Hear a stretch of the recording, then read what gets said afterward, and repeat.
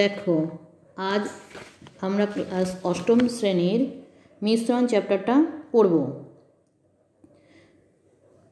তোমাদের মিশ্রণ সম্বন্ধে পড়াতে গেলে আমাকে খানিকটা আগের জায়গায় চলে যেতে হবে। তোমরা ক্লাস সেভেনে সমানুপাত শিখেছিলে। এখানে অঙ্কটা অনেকটা সমানুপাতের মতোই। কিন্তু ব্যাপারটা হচ্ছে, এ অঙ্ক পড়লে তোমরা দেখবে যে হয় দুই বা ততোধিক রাশি মেশানো হয়েছে। সেই মিশিয়ে সেখান থেকে সমানুপাতের সাহায্যেই অঙ্কটা আমাকে বের করতে হবে। আমি সরাসরি অনুশীলনীতে চলে যাই, গেলেই তোমরা ভালো বুঝতে পারবে যে দেখবে অঙ্কগুলোতে হয় কোথাও দু রকমের চা মেশানো হয়েছে, কি দু রকমের শরবত মেশানো হয়েছে, গুঁড়ো, সাবান গুঁড়োতে সোডা এবং গুঁড়ো, সাবান গুঁড়ো মেশানো হয়েছে মশলাতে সিমেন্ট বালি মেশানো হয়েছে। কি দেখা গেল পেতলে তামা দস্তা মেশানো হয়েছে। কি তোমার ডেটল জলে, ডেটল এবং জল মেশানো হয়েছে। এরকমের ওপর অঙ্কগুলো থাকবে। মানে মিশ্রণ, ওই জন্যই কথাটা এসছে মিশ্রণ। কিন্তু অঙ্কটা হবে কিন্তু সমানুপাতের সাহায্যেই যেমন কোষে দেখি বারো, আমরা যাই প্রথম অঙ্কতেই। এইখানেও কিন্তু তোমরা অনুশীলনী অঙ্কগুলো ভালো করে করবে। উদাহরণের অঙ্কগুলোও দেখবে। উদাহরণের অঙ্ক কিন্তু পরীক্ষায় আসে। কি বলেছে এক নম্বর অঙ্কে?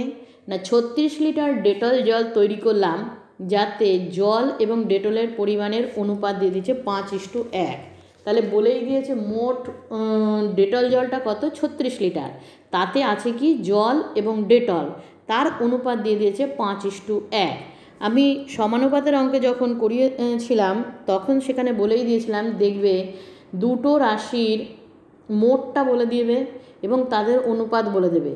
তাহলে পরে ওই প্রত্যেকটা রাশি আলাদা আলাদাভাবে কীভাবে নির্ণয় করা হয়? যেমন এখানে দুটো রাশি, একটা হলো জল এবং একটা ডেটল। আর মোট পরিমাণ বলে দিয়েছে কত? ছত্রিশ লিটার। এবং তাদের অনুপাত বলে দিয়েছে কত? পাঁচ ইস্টু এক। তাহলে ওই ছত্রিশ লিটার ডেটল জলে জল কতটা আছে? ডেটল কতটা আছে? কীভাবে করতে হয় দেখো। আমি লিখলাম ছত্রিশ লিটার ডেটল জলে জল আছে। না ডেটল জলের অনুপাত কত এখানে? না, পাঁচ। নিচে কি লিখতে হয়? দুটো অনুপাত যোগ করে লিখতে হয়। তাহলে এখানে বলে দিয়েছে জলের অনুপাত হলো পাঁচ আর ডেটলের অনুপাত হলো এক। দুটো যোগ করলে হয় পাঁচ আর একে ছয়। তাহলে ওপরে লিখব পাঁচ, নিচে লিখব ছয় ইন্টু কত লিটারের মধ্যে বলেছে? ছত্রিশ লিটার। তাই লিখলাম ছত্রিশ লিটার। এটা কাটাকুটি করো। ছয় দিয়ে কাটলাম ছয় ছয়, ছত্রিশ, পাঁচ, ছয়, তিরিশ লিটার। ঠিক একই রকমভাবে ছত্রিশ লিটার ডেটল জলে আর একটা কী আছে? ডেটল আছে কতটা? না, ডেটলের অনুপাত ছিল এক, তাই ওপরে এক লিখেছি, নিচে অনুপাত দুটো যোগ করে পাঁচ আর একে ছয় লিখেছি, ইন্টু ছত্রিশ লিটার, কাটলে কত হলো? ছত্রিশ লিটার। তাহলে ছত্রিশ লিটার ডেটল জলে আমি দেখলাম জল আছে তিরিশ লিটার, আর ছত্রিশ লিটার ডেটল জলে ডেটল আছে ছ লিটার।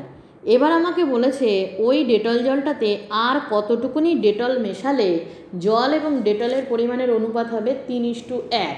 বলছে, ওই ডেটল জলটাতেই আমায় আর খানিকটা ডেটল মেশাতে হবে। কতটা ডেটল মেশাতে হবে আমি জানি না। ধরে নিলাম এক্স লিটার ধরি আর এক্স লিটার ডেটল মেশানো হলো, তাহলে তখন সেই অনুপাতটা হয়ে যাবে বলেছে তিন ইস্টু এক। আগে ডেটল ছিল কতটা? ছ লিটার আমি আরও এক্স লিটার মেশালাম, তার মানে ছয় প্লাস এক্স হলো ওপরে দেখো, তাহলে জল এবং ডেটলের অনুপাত বলে দিয়েছে তো? তাহলে জলের পরিমাণটা ওপরে লিখতে হয় আর ডেটলের পরিমাণটা নিচে লিখতে হবে। জল ছিল কতটা? তিরিশ লিটার। আর ডেটল হয়ে গেছে কতটা? না, ছয় লিটার ছিল, তার সঙ্গে আরও এক্স লিটার যোগ করলাম মানে ছয় প্লাস এক্স তাহলে এটা অনুপাতে লিখলে কী হবে? তিরিশ ইস টু ছয় প্লাস এক্স বা তিরিশ বাই ছয় প্লাস এক্স এটা আমি সরাসরি একবারে করে দিলাম, তাই শর্তানুসারে লিখেছি, তিরিশ বাই ছয় প্লাস এক্স সমান সমান কত হবে বলে দিয়েছে, অঙ্কে অনুপাতটা হবে তিন ইস্টু এক। তাই ওপরে তিন, নিচে এক। এখানে যেমন ওপরে জল হলো তিরিশ, নিচে ডেটল হলো ছয় প্লাস এক্স এখানে অনুপাত হবে বলেছে তিন ইস্টু এক মানে তিন বাই এক। তাই তিন বাই এক লিখেছি। এবার কোনাকুনি গুণ করলাম। তিন ছয় আঠারো প্লাস থ্রি এক সমান সমান তিরিশ একে তিরিশ। তিরিশ থেকে আঠারো গেলে হয় বারো। এক সমান সমান হবে বারো বাই তিন মানে চার। তাহলে এক্স সমান কত বেরোলো চার? আমি এক্স সমান কী ধরেছিলাম? না আর এক্স লিটার ডেটল মেশানো হলো। তাহলে ওই ডেটল জল আর কতটা ডেটল মেশানো হবে? চার লিটার ডেটল মেশানো হবে। মেশালে জল এবং ডেটলের অনুপাত হবে তিন ইস্টু এক। অঙ্কটা আশা করি বুঝতে পেরেছ।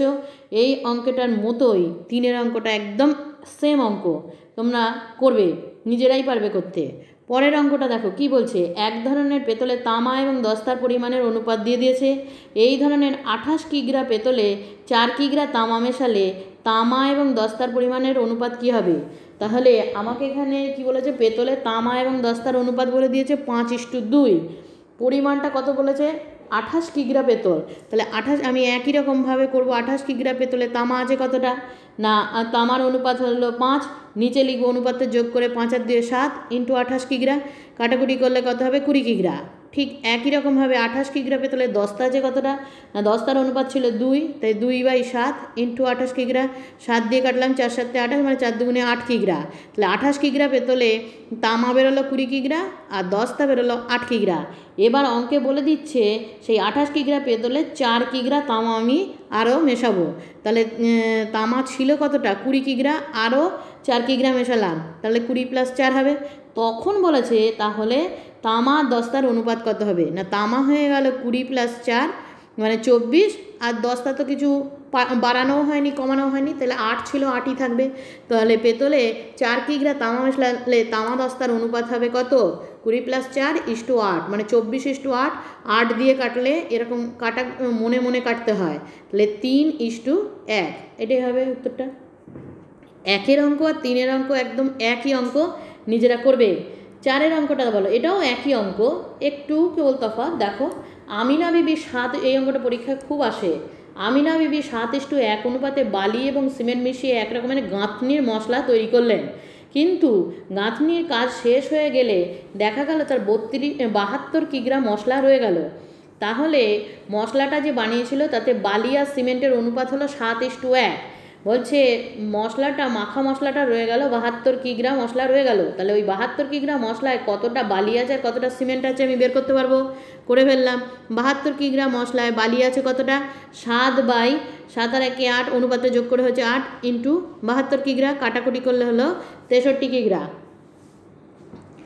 ঠিক বাহাত্তর কিগ্রা মশলায় তাহলে সিমেন্ট আছে কতটা? এক বাই নয় ইন্টু বাহাত্তর কিগ্রা কাটলে হলো ন কিগ্রা এবার কি বলে দিয়েছে? না বাহাত্তর কিগ্রা মশলা যেটা পড়েছিল, তাতে কতটা সিমেন্ট, কতটা বালি আছে আমি বের করলাম। বলছে ওই মশলায় আরও কিছুটা সিমেন্ট মিশিয়ে বালি এবং সিমেন্টের অনুপাত ছয় ইস্টু এক করা হলো, একের অঙ্কের মতোই।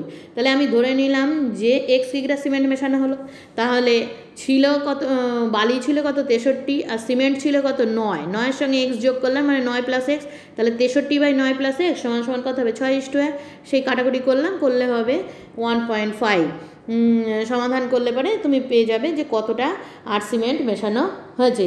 একের অঙ্কের মতোই। পাঁচের অঙ্কটা দেখো। এই অঙ্কটাও খুব পরীক্ষায় আসে। এক ধরনের জার্মান সিলভারে এখানে তিনটে জিনিস রয়েছে। বলছে জার্মান সিলভারে তামা, দস্তা, নিকেলের পরিমাণের অনুপাত দিয়েছে চার ইস্টু তিন ইস্টু দুই। এই ধরনের চুয়ান্ন কিগ্রা জার্মান সিলভারে আর কত কিগ্রা দস্তা মেশালে সেই পরিমাণের অনুপাত হবে ছয় ইস্টু পাঁচ ইস্টু তিন। প্রথমে বলে দিয়েছে জার্মান সিলভারে তামা দস্তা নিকেলের অনুপাত দিয়ে দিয়েছে। কতটা বলেছে? চুয়ান্ন কিগ্রা জার্মান সিলভার। তাহলে একই রকমভাবে আমি বের করব। চুয়ান্ন কিগ্রা জার্মান সিলভারে তামা আছে কতটা? না চার বাই অনুপাত তিনটে যোগ করলে হয় কত? চার আর তিনে সাত, আট, নয়। ইন্টু চুয়ান্ন কিগ্রা, কাটাকুটি করলাম চব্বিশ কিগ্রা। চুয়ান্ন কিগ্রা জার্মান সিলভারে দস্তা আছে কতটা? না দস্তার অনুপাত ছিল তিন, তাহলে তিন বাই অনুপাতটা যোগ করে হচ্ছে নয় ইন্টু চুয়ান্ন কিগ্রা। কাটাকুটি করলাম হলো আঠেরো কিগ্রা। চুয়ান্ন কিগ্রা নিকেলে নিকেল আছে কতটা? পেতলে, জার্মান সিলভারে, তাহলে দুই বাই নয় ইন্টু চুয়ান্ন কিগ্রা মানে বারো কিগ্রা তাহলে আমি চব্বিশ কিগ্রা আঠেরো কিগ্রা আর বারো কিগ্রা তামা দস্তা নিকেলের পরিমাণটা বের করে ফেললাম চুয়ান্ন কিগ্রাতে এবার বলছে ওই মশলাটাতে কত কিগ্রা দস্তা মেশানো হবে? আমি ধরে নিলাম এক্স কিগ্রা দস্তা মেশানো হলো। তাহলে দস্তার জায়গায় শুধুমাত্র ছিল আঠেরো যেটা, সেটা আঠেরো প্লাস এক্স হয়ে যাবে। আর অনুপাতটা কত থাকবে? চব্বিশ প্রথমটায় ছিল চব্বিশ তামা হলো চব্বিশ, ইস টু দশটা হয়ে যাবে আঠেরো প্লাস এক্স ইস টু বারো। সেই অনুপাতটাই অঙ্কে বলে দিচ্ছে ছয় ইস টু পাঁচ ইস টু তিন হবে। তাহলে ছয় ইস টু পাঁচ ইস টু তিন। এখন আমরা এরকম তিনটে দেওয়া অনুপাত সমাধান করতে শিখে নিই। এখানে দেখো, এ অঙ্ক কীভাবে করতে হয় না যে কোনো দুটো করে নিতে হবে। আমি যদি প্রথম দুটোর অনুপাত নিই, তাহলে প্রথম এদিকেও প্রথম দুটোর অনুপাত নেওয়া হবে। দেখো চব্বিশ ইস টু আঠেরো প্লাস এক্স সমান সমান আমি লিখব ছয় ইস টু পাঁচ। আবার শেষের দুটো নিয়েও তুমি করতে পারো। অথবা দেখো, আঠেরো প্লাস এক্স ইস টু বারো, তাহলে এখানেও অনুপাতটাকে ডান দিকেটাও শেষের দুটো নেওয়া হবে, পাঁচ ইস্টু তিন। এখন এই দিকটা সমাধান করেও তুমি এক্সের মান বের করতে পারো এদিকটা সমাধান করেও এক্সের মান বের করতে পারো, ওই জন্য অথবা দিয়ে লিখে দিয়েছি। এবার দেখো, এটা অনুপাত দেওয়া থাকলে বাই করে লেখা যায়। তাহলে চব্বিশ ইস টু আঠারো প্লাস এক্স মানে চব্বিশ বাই আঠারো প্লাস এক্স সমান সমান ছয় ইস্টু পাঁচ মানে ছয় বাই পাঁচ। ওপরে ওপরে সমাধান অঙ্কে যদি যোগ বা বিয়োগ দিয়ে না লেখা থাকে, একটা করে সংখ্যা থাকলে পারে কাটাকুটি করা যেতে পারে। তাই আমি ছয় দিয়ে চব্বিশকে কাটলাম, চার, ছয়, চব্বিশ। এবার কোনাকুনি গুণ করে দিলাম। আঠেরো প্লাস এক সমান সমান চার পাঁচে কুড়ি, এখানটা সমাধান করলে আমার বেরোলো কত? না, এক সমান সমান কুড়ি মাইনাস আঠেরো মানে দুই। তাহলে কত কিগ্রা দস্তা মেশানো হয়েছে? না, দু কিগ্রা দস্তা মেশানো হয়েছে। এই দিকটা থেকে তুমি সমাধান করলেও দেখবে এক সমান তোমার বেরোবে হলো দুই। এবার পরের অঙ্কটা দেখো। দুই প্রকারের গুঁড়ো সাবানে সাবান এবং সোডা এবং সাবান গুঁড়োর পরিমাণের অনুপাত দিয়ে দিয়েছে। মিশ্রণটা হলো গুঁড়ো সাবান আর তাতে আছে হলো সোডা আর সাবান গুঁড়ো। তার অনুপাত দিয়ে দিয়েছে। দু রকমের বলেছে। এবার যদি প্রথম প্রকারের দশ কিগ্রা আর দ্বিতীয় প্রকারের আঠেরো কিগ্রা মেশানো হয়, তবে নতুন গুঁড়ো সাবানে কত অংশ সাবান গুঁড়ো থাকবে? প্রথমে অঙ্কটা ভালো করে শোনো। বলেছে দু রকমের গুঁড়ো সাবান। একটা হচ্ছে প্রথম প্রকার হলো দশ কিগ্রা দ্বিতীয় প্রকার হলো আঠেরো কিগ্রা তাহলে দশ কিগ্রা গুঁড়ো সাবানে সোডা এবং সাবান গুঁড়োর অনুপাত দিয়ে দিয়েছে দুই ইস্টু তিন। তাহলে কতটা সোডা এবং কতটা সাবান গুঁড়ো আছে আমি বের করতে পারব? দ্বিতীয় প্রকারের বলেছে আঠেরো কিগ্রা গুঁড়ো সাবান, তাতে সোডা এবং সাবান গুঁড়োর অনুপাত বলেছে চার ইস টু পাঁচ। তাহলে কতটা সোডা আছে আর কতটা গুঁড়ো সাবান সাবান গুঁড়ো আছে আমি বের করতে পারব? দেখো। দশ কিগ্রা গুঁড়ো সাবানে সোডা আছে কতটা? এর অনুপাত দিয়েছিল দুই, তা দুই বাই অনুপাত দুই আর তিন যোগ করলে হয় পাঁচ, ইন্টু দশ কিগ্রা কাটাকুটি হলে চার কিগ্রা দশ কিগ্রা গুঁড়ো সাবানে তোমার সাবান গুঁড়ো আছে কতটা? না তিন বাই পাঁচ ইন্টু দশ করলে হলো ছ কিগ্রা দ্বিতীয় প্রকারের বলেছিল আঠেরো কিগ্রা তাহলে আঠেরো কিগ্রা গুঁড়ো সাবানে সোডা আছে কতটা? না চার বাই নয় ইন্টু আঠেরো কিগ্রা। কাটাকুটি করলে হয় আট কিগ্রা।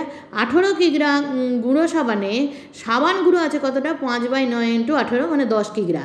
তাহলে এইবার বলছে যে দশ কিগ্রা যে গুঁড়ো সাবান ছিল আর আঠেরো কিগ্রা গুঁড়ো সাবান, দু রকমের গুঁড়ো সাবান মিশিয়ে দেওয়া হলো। দিয়ে একটা নতুন রকমের মিশ্রণ তৈরি করা হলো। তাহলে এখানে যতটা দশ কিগ্রাতে যতটা সোডা ছিল আর আঠেরো কিগ্রা যতটা সোডা ছিল, নতুন যেটাতে মেশানো হলো, ততটা হয়ে যাবে সোডা। তাহলে চার আর আট যোগ করলে কত হবে? আট আর চারে বারো কিগ্রা হয়ে যাবে সোডা আর গুঁড়ো সাবান হবে কতটা? না, ছয় আর দশ মানে ষোলো কিগ্রা। আমি, ও, সেটা না বের করে একবারে সরাসরি চলে যাচ্ছি, বলছে নতুন গুঁড়ো সাবানে কত অংশ সাবান গুঁড়ো আছে? তার মানে নতুন যে গুঁড়ো সাবান, তাতে সাবান গুঁড়োর পরিমাণ কত হবে? আমি দেখতেই পাচ্ছি এটা ছয় আর দশ মানে ষোলো কিগ্রা হবে? নতুন গুঁড়ো সাবানে সাবান গুঁড়ো। সেইটা মোট কত অংশ হলো? না, আমার গুঁড়ো সাবানটা কতটা? না, দশ কিগ্রা আর আঠেরো কিগ্রা যোগ করলে হয় কত? আঠাশ কিগ্রা মোট গুঁড়ো সাবান। তাহলে নতুন গুঁড়ো সাবানে সাবান গুঁড়োর অংশ কত হবে? না, এর পরিমাণ ছিল সাবান গুঁড়ো ছিল ষোলো আর মোটটা হলো দশ প্লাস আঠেরো মানে আঠাশ। ষোলো বাই দশ, এত অংশ হবে আমার নতুন গুঁড়ো সাবানে সাবান গুঁড়োর পরিমাণ। তাহলে হলো কত? চার বাই সাত অংশ। এটা অংশে বের করতে বলেছে, তাই মোটটা দিয়ে ভাগ করতে হয়। যার বের করতে হবে অংশ, সেটা ওপরে লিখতে হয় আর মোটটা দিয়ে ভাগ করতে হয়। তাহলে সাবান গুঁড়ো হলো দুটো মিলিয়ে মোট সাবান গুঁড়ো আছে ষোলো কিগ্রা। তাই ষোলো বাই মোট পরিমাণটা কত? দশ প্লাস আঠেরো মানে আঠাশ। এটা করলে হলো চার বাই সাত অংশ হলো নতুন গুঁড়ো সাবানে সাবান গুঁড়োর পরিমাণ অংশ। দেখো, পরের অঙ্কটা দেখো, এই অঙ্কটাও পরীক্ষায় খুব আসে। সেটা হচ্ছে দুটি সমান আয়তনের পাত্র। তাতে একের তিন অংশ এবং একের চার অংশ ফলের রস আছে। দুটো পাত্র সমান আয়তনের মানে সমান মাপের। ধরো এখানে পাত্র বলতে আমি মনে করো দুটো গ্লাস। একটাতে ফলের রস আছে একের তিন অংশ আর একটাতে ফলের রস আছে একের চার অংশ। বাকি অংশটা জল দিয়ে ভর্তি করা হবে। তাহলে পুরো গ্লাসটা, পাত্রটা সমান হলো এক অংশ। তাহলে একের তিন অংশ যদি ফলের রস থাকে, তাহলে প্রথম পাত্রে দেখো ফলের রস আছে কত? একের তিন অংশ। তাহলে প্রথম পাত্রে জল হবে কত? বাকি অংশটা বলেছে জল দিয়ে ভর্তি করা হয়েছে। না, সম্পূর্ণ পাত্রটা হলো এক অংশ, তাই এক মাইনাস একের তিন মানে কত হবে? দুইয়ের তিন অংশ আছে জল। ঠিক একই রকমভাবে দ্বিতীয় পাত্রটা দেখো, ফলের রস আছে একের চার অংশ, তাহলে জল আছে কত? এক মাইনাস একের চার মানে তিনের চার অংশ আছে জল। এইবার বলেছে এই যে দুটো পাত্রের জল এবং ফলের রস, সেটা নিয়ে গিয়ে একটা নতুন পাত্রে ঢেলে দেওয়া হলো, মিশিয়ে দেওয়া হলো। তাহলে নতুন যে পাত্রটাতে, তাতে ফলের রস কতটা থাকবে? আর জলের জল কতটা থাকবে? তার অনুপাত বের করো। তাহলে দেখো, নতুন পাত্রে ফলের রস কতটা হবে? না, এই প্রথম পাত্রে ছিল একের তিন অংশ ফলের রস, আর দ্বিতীয়টাতে ছিল একের চার অংশ ফলের রস। তাহলে মোট ফলের রস কত হবে? একের তিন প্লাস একের চার। আর জল কতটা হবে? না, প্রথম পাত্রে ছিল দুইয়ের তিন, দ্বিতীয় পাত্রে ছিল তিনের চার। তাহলে দুইয়ের তিন প্লাস তিনের চার। তার বলছে অনুপাত কত? তাই একদম সরাসরি অনুপাতে লিখে দিয়েছি। এই ফলের রস ইস্টু জল। এবার এইটা লসাগু করলে কথা হবে? বারো। ওপরটা হবে চার প্লাস তিন। নিচে হলো বারো। এটা হবে চার দু, দেখো, লসাগু হয়েছে বারো। তাহলে তিন দিয়ে বারোকে ভাগ করলে হয় কত? তিন চারে বারো মানে চার দুগুণে আট। প্লাস চার দিয়ে বারোকে ভাগ করলে হয় তিন মানে তিন তিরিখে নয়। ওপরটা হলো সতেরো বাই বারো। তাহলে এই রকম যদি ভগ্নাংশ আকারে আসে অনুপাত, তাকে আমরা পূর্ণ সংখ্যার অনুপাত কীভাবে বের করি? না, প্রথম অনুপাতটা লিখতে হয়, গুণ চিহ্ন দিয়ে পরের অনুপাতটা উল্টিয়ে লিখতে হয়। তাই সতেরো বাই বারো ছিল, লিখলাম বারো বাই সতেরো, বারো বারো কেটে গেল মানে সাত বাই সতেরো মানে সাত ইস্টু সতেরো। তাহলে নতুন পাত্রে ফলের রস এবং জলের পরিমাণের অনুপাত কত হবে? সাত ইস্টু সতেরো। আটের অঙ্কটা দেখো। রেশমি খাতুন তিনটে সমান মাপের গ্লাস, শরবতপূর্ণ। রেশমি খাতুন তিনটে সমান মাপের গ্লাস শরবত পূর্ণ করেছে। আগের অঙ্কের মতোই। তিনটে সমান আগের অঙ্কটা যেমন অংশ বলে দিয়েছিল, এখানে অংশ বলেনি, অনুপাতে দিয়ে দিয়েছে। সেগুলোকে অংশে বের করতে হবে। অংশে কীভাবে বের করে? না প্রত্যেকটা অনুপাতটা ওপরে লিখতে হয়, নিচে অনুপাত দুটো যোগ করে লিখতে হয়, তাহলেই হয়ে যায়। যেমন দেখো বলছে তিনটে গ্লাসে শরবতে জল এবং সিরাপের পরিমাণের অনুপাত হলো তিন ইস্টু এক, পাঁচ ইস্টু তিন, নয় ইস্টু সাত। তাহলে প্রথম গ্লাসে আমার জল আছে কতটা? প্রথম জল আর সিরাপের অনুপাত বলে দিয়েছে। তাহলে প্রথমটা হলো জল, পরেরটা হলো সিরাপ। জল আছে কতটা? না, তিন ইস্টু এক ছিল মানে তিন বাই, অনুপাতটা যোগ করলে তিন আর একে চার মানে তিন বাই চার অংশ। আর ঠিক একই রকমভাবে তাহলে সিরাপ আছে কতটা? না, এক বাই চার অংশ। দ্বিতীয় পাত্রে জল আছে কতটা? পাঁচ বাই, পাঁচ আর তিন যোগ করলে হয় আট আট পাঁচ বাই আট অংশ। সিরাপ আছে কতটা? না, তিন বাই আট অংশ। তৃতীয় গ্লাসে দেখো জল আছে কতটা? নয়। আর অনুপাতটা যোগ করলে হয় কত? নয় ষোলো।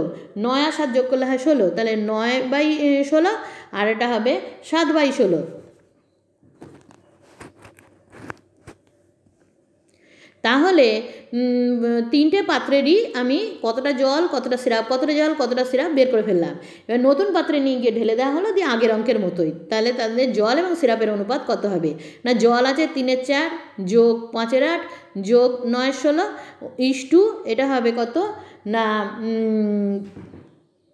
একের একের চার, যোগ তিনের এর আট যোগ সাতের ষোলো দিয়ে তারপরে হিসাব করলাম, করলে হবে একত্রিশ ইস্টু সতেরো, আগের অঙ্কের মতোই। নয়ের অঙ্কটা দেখো এই অঙ্কটা খুব আসে পরীক্ষায়, নয়ের অঙ্ক ইম্পর্টেন্ট দশের অঙ্ক ইম্পর্টেন্ট ইলেভেনের অঙ্ক ইম্পর্টেন্ট ওই সাতের অঙ্ক ইম্পর্টেন্ট এগুলো কিন্তু পরীক্ষায় আসে। নয়ের অঙ্কটা কি বলে দিয়েছে? দেখো, দু প্রকার পেতলে তামা দস্তার পরিমাণের অনুপাত দিয়ে দিয়েছে আট ইস্টু তিন, পনেরো ইস্টু সাত। দু রকমের পেতল আছে।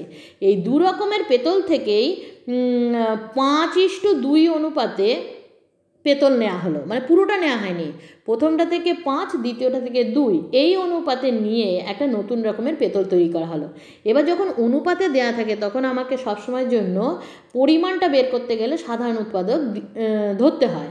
তাহলে দু প্রকার পেতলে কি বলেছে? পাঁচ ইস্টু দুই অনুপাতে মেশানো হয়েছে। তা আমি ধরে নিলাম সাধারণ উৎপাদক সমান এক্স তাহলে প্রথম প্রকারের পেতল নেওয়া হয়েছে ফাইভ এক্স কিগ্রা মানে অনুপাতটার গায়ে একটা করে এক্স লিখে দিয়ে একক লিখতে হয়। তাহলে প্রথম প্রকারের পেতল নেওয়া হয়েছে ফাইভ এক্স কিগ্রা দ্বিতীয় প্রকারের পেতল নেওয়া হয়েছে টু এক্স কিগ্রা তাহলে দুটোরই আমি পরিমাণ পেয়ে গেলাম। যে প্রথমটার নেওয়া হয়েছে ফাইভ এক্স কিগ্রা দ্বিতীয়টা নেওয়া হয়েছে টু এক্স কিগ্রা। এইবার বলেছে, তাহলে ওই ফাইভ এক্স কিগ্রাতে কতটা তামা, কতটা দস্তা আছে? আর ওই টু এক্স কিগ্রাতে কতটা তামা, কতটা দস্তা আছে সেটা আমি বের করতে পারব। না ফাইভ এক্স কিগ্রা পেতলে তামা আছে কত? অনুপাতটা বলে দিয়েছে কত? দুই ইস টু আট ইস টু তিন। তার মানে আট বাই অনুপাতটা যোগ করলে হয় এগারো ইন্টু ফাইভ এক্স এটা হলো চল্লিশ এক্স বাই এগারো।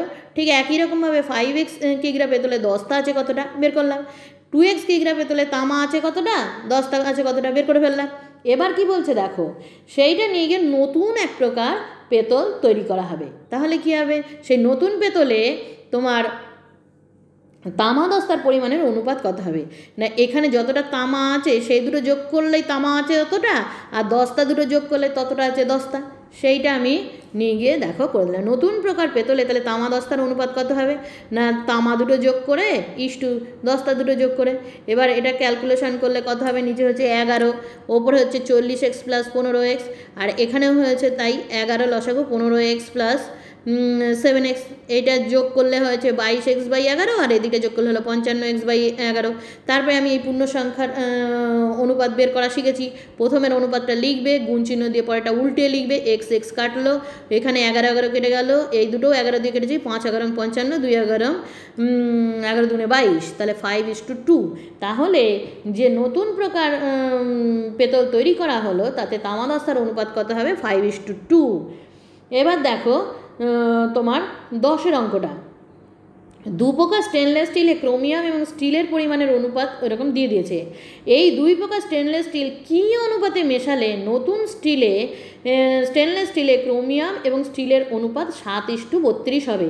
আগের অঙ্কটা যেমন দু প্রকারের পেতলের একটা অনুপাত বলে দিয়েছিল। এখানে কিন্তু কোনো অনুপাত বলল না। এখানে অঙ্কটা বলছে ওই রকম দু রকম স্টেনলেস স্টিল তাতে ক্রোমিয়াম স্টিলের অনুপাতগুলো বলে দিয়েছে। দু প্রকার স্টেনলেস স্টিল কী অনুপাতে মেশানো হবে? আমি প্রথমেই ধরে নিলাম, প্রথম প্রকার স্টেনলেস স্টিল এক্স কিগ্রা আর দ্বিতীয় প্রকার স্টেনলেস স্টিল ওয়াই কিগ্রা নিয়ে মেশানো হলো। আগেটা যেমন ওই যে ফাইভ এক্স আর টু এক্স বের করে নিয়েছিলাম কিগ্রাটা, এখানে তো কিছু বলেই দেয়নি, অনুপাত বলেনি। সেই জন্য আমি প্রথমেই ধরে নিলাম যে প্রথমটা হলো এক্স কিগ্রা নেওয়া আছে পরেরটা ওয়াই কিগ্রা নেওয়া আছে তাহলে এক্স কিগ্রা স্টেনলেস স্টিলে কতটা ক্রোমিয়াম কতটা স্টিল আছে বের করতে পারব? ওয়াই কিগ্রা স্টেনলেস স্টিলে কতটা ক্রোমিয়াম কতটা স্টিল আছে বের করতে পারব। এইবারে এই দুটো নিয়ে গিয়ে নতুন এক রকমের স্টি স্টেনলেস স্টিল তৈরি করা হলো। তাহলে সেই নতুন স্টেনলেস স্টিলে কতটা ক্রোমিয়াম আছে? না, এই যে দুটো ক্রোমিয়াম আছে তাদের যোগ, আর যে দুটো স্টিল আছে তাদের যোগ। বলছে এই যে নতুন যে স্টেনলেস স্টিল তৈরি করা হলো, তাতে ক্রোমিয়াম এবং স্টিলের যে অনুপাত অনুপাত মানে এটা ইস্টু এটা, অনুপাতটা হবে বলেছে সাত ইস্টু বত্রিশ। সেই জন্যই দেখো, এই ক্রোমিয়াম আর স্টিলের অনুপাতটা এটা বাই এটা সমান সমান সাত বাই বত্রিশ। এখানে নিচে আমি হয়েছে কত? ছাব্বিশ। এই ছাব্বিশ ছাব্বিশ কেটে দিলাম, তাহলে ওপরে থাকল four x plus five y নিচে হলো বাইশ এক্স প্লাস একুশ ওয়াই সমান সমান সাত বাই বত্রিশ, কোনাকুনি গুণ করো, করে সমাধান করে দাও, দিলেই তোমার বেরিয়ে যাবে ছাব্বিশ এক্স সমান সমান তেরো ওয়াই। এইবার এইরকম আমাকে তো অনুপাত বের করতে হবে মানে তাহলে এক্স বাই ওয়াই সমান বের করতে হবে। তাহলে এক্স এই দিক থেকে ওয়াইটা নিচে নামিয়ে দাও, এদিক থেকে ছাব্বিশটা নিচে নামিয়ে দাও। তাহলে এটা এক্স বাই ওয়াই সমান সমান তেরো বাই ছাব্বিশ হলো, কাটাকুটি করলে এক বাই দুই। তাহলে এক্স ইস টু ওয়াই সমান সমান কত হবে? এক ইস টু দুই। এগারোর অঙ্কটা দেখো, এই অঙ্ক কিন্তু প্রচুর আগে মাধ্যমিকে মিশ্রণ যখন ছিল, মাধ্যমিকেও আসতো এবং কম্পিটিটিভ পরীক্ষাতেও খুব আসে। বলছে, এক প্রকার শরবতে পাঁচ ইস্টু দুই অনুপাতে সিরাপ এবং জল মেশানো হলো। এই শরবতে কতটুকুনি অংশ তুলে নিয়ে তার পরিবর্তে সম পরিমাণ জল ঢেলে দেওয়া হলো। ঢেলে দিয়ে তাতে সিরাপ এবং জলের পরিমাণ সমান সমান হয়ে যাবে। বলছে, এক পাত্র শরবত আছে তাতে সিরাপ এবং জল। সিরাপ বোঝো তো? এই দেখবে মেলাতে বিক্রি হয় না? লাল রঙে, সবুজ রঙে, মিষ্টি মিষ্টি, শরবত যে বিক্রি হয়, ওইগুলোকে বলা হয় সিরাপ। জায়গা শরবতে পাঁচ ইস্টু দুই অনুপাতে সিরাপ আর জল মেশানো হয়েছে। তাহলে সিরাপ আছে কতটা? পাঁচ, আর জল আছে কতটা? দুই। যদি অংশে বের করি, তাহলে দেখো এক পাত্র শরবতে সিরাপ এবং জলের অনুপাত পাঁচ ইস্টু দুই। তাহলে এক পাত্র শরবতের সিরাপ আছে কতটা? পাঁচ বাই অনুপাতটা যোগ করলে হবে, পাঁচ আর দুই যোগ করলে হয় সাত, পাঁচ বাই শতাংশ আর এক পাত্র শরবতের জল আছে কতটা? দুই বাই শতাংশ এবার বলেছে, সেখান থেকে খানিকটা তোমার শরবত তুলে নেওয়া হলো। কতটা তুলেছে সেটাই বের করতে বলেছে। দিয়ে সম পরিমাণ জল ঢেলে দেওয়া হলো। দিলে সিরাপ আর জলের অনুপাত হবে সমান সমান। সমান সমান মানে এক ইস্টু এক।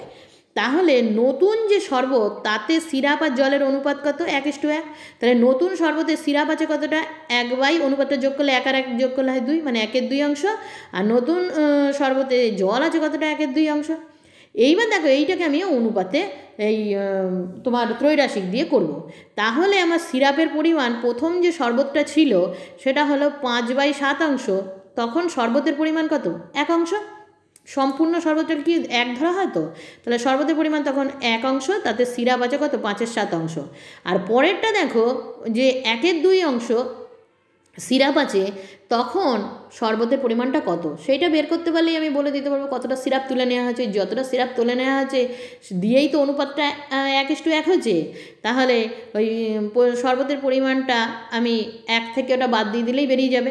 যাক, আগে বের করি যে এই হাফ অংশ, না, যতটা তুলে নেওয়া হয়েছে সেইটা কিন্তু হাফ অংশ নয়। বলছে তুলে নেওয়ার পরে হয়েছে এক ইস্টু এক। তার মানে যে তুলে নেওয়ার পরে অবশিষ্টটায় হয়েছে কত? একের দুই অংশ সিরাপ, একের দুই অংশ জল। তাহলে একের দুই অংশ যখন সিরাপ, তখন শরবতের পরিমাণ কত? সেটা আমি আগে বের করি। তাহলে দেখো, এই শরবতের পরিমাণের সঙ্গে সিরাপের পরিমাণের হলো সরল সম্পর্ক। তাহলে শরবতের পরিমাণ কত হবে? না, এই বলেছিলাম যেখানে জিজ্ঞাসা চিহ্ন বা এক্স থাকবে, তার উপরে যা থাকবে সেটা লিখতে হয়। ইন্টু সরল সম্পর্ক হলে এটা উল্টিয়ে লিখতে হয় ও নিচেরটা উপরে উপরটা নিচে লিখতে হয়। তাই একের দুই বাই পাঁচের সাত লিখলাম। এটা জটিল ভগ্নাংশ জটিল ভগ্নাংশ ওপরে ভগ্নাংশটা লিখতে হয়।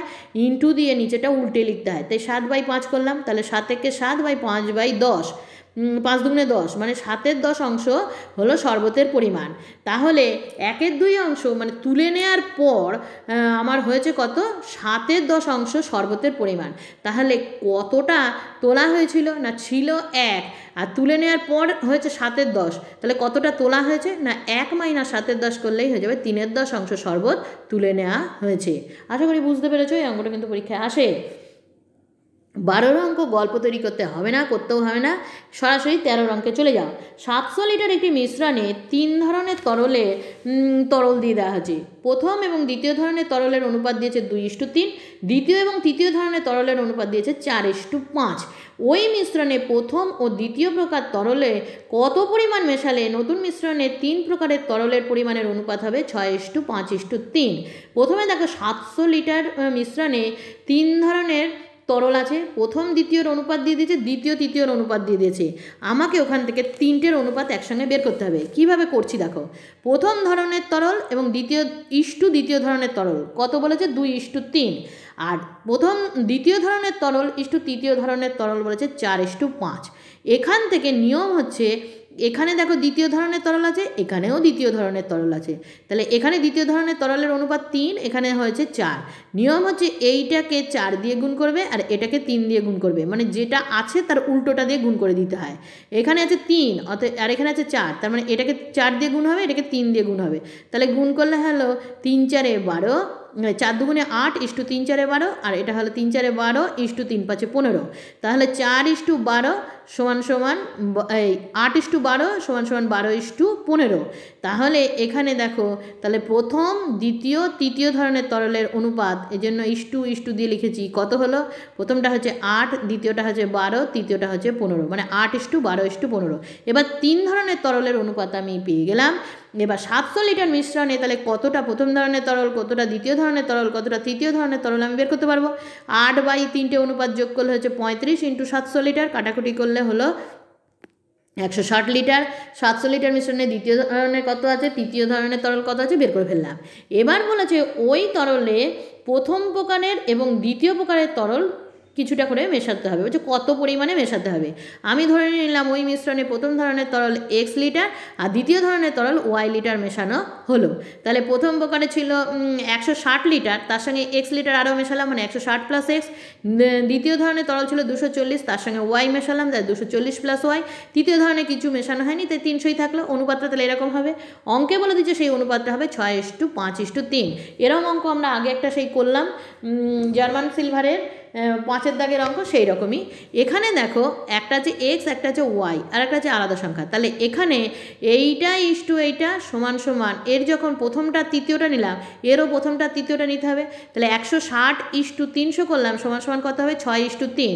আর এর দেখো, শেষ দুটো নিলাম মানে দুশো চল্লিশ প্লাস ওয়াই ইস টু তিনশো, সমান সমান এরও শেষ দুটো নেওয়া হবে, পাঁচ ইস টু তিন। এখান থেকে হিসাব করলে এক্স বেরোবে, এখান থেকে ক্যালকুলেশন করলে দেখবে ওয়াই বেরোবে। এবার তোমাদের প্রশ্ন জাগতে পারে আগের অঙ্কটা অঙ্কটা তো প্রথম দুটো নিয়েছিলাম। এ অঙ্কে প্রথম দুটো নেবে না, কারণ দুটোই আননোন একটা এক্স আছে, একটা ওয়াই আছে, তাহলে তোমরা সমাধান করতে অসুবিধা হবে। যাক, চোদ্দ নম্বরে কী হচ্ছে এক প্রকার সিরাপে জল এবং অবশিষ্টাংশের পরিমাণের অনুপাত দিয়ে দিয়েছে ঊনপঞ্চাশ ইস্টু এগারো। এইরূপ একু, বাইশ লিটার সিরাপে আর কত লিটার জল মেশালে জল এবং অবশিষ্টের অনুপাত এত হবে? সেটা ওই একের দাগের অঙ্কের মতোই কিন্তু আমি করে দিয়েছি, তোমরা একবার দেখে নেবে। শেষ অঙ্কটা দেখো।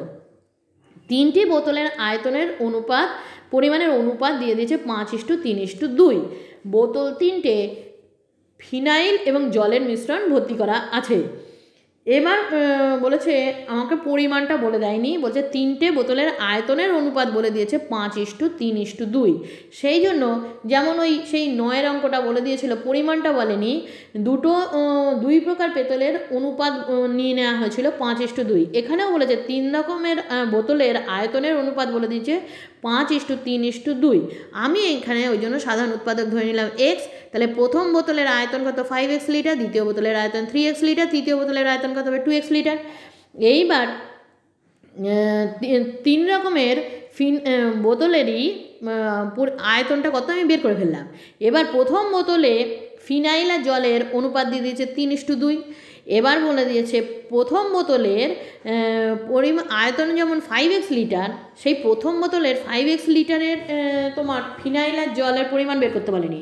বলেছে, প্রথম বোতলের একের তিন অংশেতে কতটা রয়েছে, সেটা আমাকে বের করতে হবে। তাহলে আমি একবার সরাসরি করছি, প্রথম বোতলে ফাইভ এক্স লিটার ছিল আয়তন তার একের তিন অংশ, তাই জন্য ফাইভ এক্স ইন্টু একের তিন লিটার মিশ্রণে কতটা ফিনাইল আছে আর কতটা জল আছে সেটা একবারে বের করে ফেলব। তাহলে ফাইভ এক্স ইন্টু একের তিন এইটা মিশ্রণে কেন এটা গুণ করলাম বুঝতে পারলে? বোতলটার আয়তন ছিল ফাইভ এক্স তার বলেছে একের তিন অংশ নেওয়া হবে। তাই জন্য ফাইভ এক্স ইন্টু একের তিন এত লিটার মিশ্রণে ফিনাইল আছে কতটা? না, এর অনুপাত দিয়ে দিয়েছিল দুই ইস্টু তিন, তার মানে দুই বাই পাঁচ ইন্টু এই যে এতটা পরিমাণ কাটাকুটি করলে আমার বেরিয়ে গেল এত লিটার ঠিক একই রকমভাবে প্রথম প্রকার বোতলের ফাইভ এক্স ইন্টু একের তিন লিটারে কতটা জল আছে আমি বের করতে পারব? না, এর অনুপাত ছিল তিন, নিচে হলো তিন বাই পাঁচ ইন্টু অত কাটাকুটি করলে হলো এক্স লিটার। দ্বিতীয় প্রকার বোতলে বলেছে, দ্বিতীয় বোতলের বলেছে একের দুই অংশ। তা দ্বিতীয় বোতলের আয়তন ছিল থ্রি এক্স তার একের দুই অংশ। তাহলে থ্রি এক্স ইন্টু একের দুই লিটারে কতটা ফিনাইল আছে বের করলাম? কতটা জল আছে বের করলাম? তৃতীয় বোতলের বলে দিচ্ছে দুইয়ের তিন অংশ নেওয়া হবে। তাহলে থ্রি এক্স ইন্টু দুইয়ের তিন, কারণ টু এক্স ইন্টু দুয়ের তিন, এর পরিমাণটা ছিল টু এক্স আয়তন, তার দুয়ের তিন অংশেতে কতটা ফিনাইল আছে, কতটা জল আছে, বের করে ফেললাম। তাহলে এইটা নিয়ে গিয়ে একত্রে মিশিয়ে দেওয়া হলো। তাহলে যে নতুন বোতলটা মেশানো হবে, যে পাত্রে মেশানো হবে, সেখানে কতটা ফিনাইল থাকবে? এই যে প্রথমের ফিনাইল, দ্বিতীয়র ফিনাইল, তৃতীয়র ফিনাইল যোগ করলেই বেরিয়ে যাবে? আর কতটা জল হবে না? প্রথমের জল দ্বিতীয় জল তৃতীয় জল? বলছে, তার অনুপাত কত হবে? তাই ফিনাইল এবং জলের অনুপাত এ দেখো, ফিনাইল কটা যোগ করে ইস্টু জলের অনুপাত। এটা যোগ করলে লসাগু হয়েছে ছয় ওটা হবে four x plus three x plus two x আর এদিকে তিনটে এক্স যোগ করলে হয় থ্রি এক্স এখানটা ওপরটা হয়েছে চার আর তিনে সাত আর নয় এক্স বাই ছয় ইন্টু এটা উল্টে দাও ওয়ান বাই থ্রি এক্স কাটাকুটি করলে হলো ওয়ান এস টু টু আশা করি তোমরা বুঝতে পেরেছ। আজকে এইখানে শেষ করলাম। তোমরা ভালো করে অঙ্ক কটা শুনবে, বুঝবে এবং তারপরে খাতায় পরিষ্কার করে অঙ্ক কটা করে ফেলবে।